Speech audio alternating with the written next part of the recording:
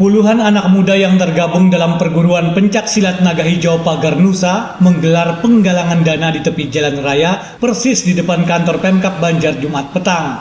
Aksi penggalangan dana ini dilakukan sebagai wujud keprihatinan terhadap masyarakat Lombok, Nusa Tenggara Barat atas musibah gempa bumi yang terjadi beberapa hari lalu.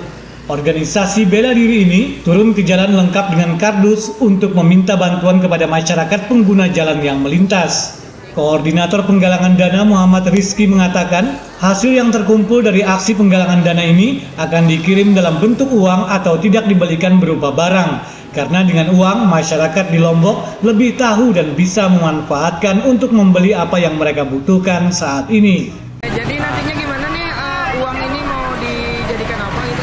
Di, kita kirim ke sana uang kan, uang dari sini uh, terserah dari sana maunya uh, bahan obat-obatan atau bahan makanan. Penggalangan dana di tepi jalan ini rencananya akan digelar selama tiga hari ke depan guna mendapatkan hasil yang lebih maksimal.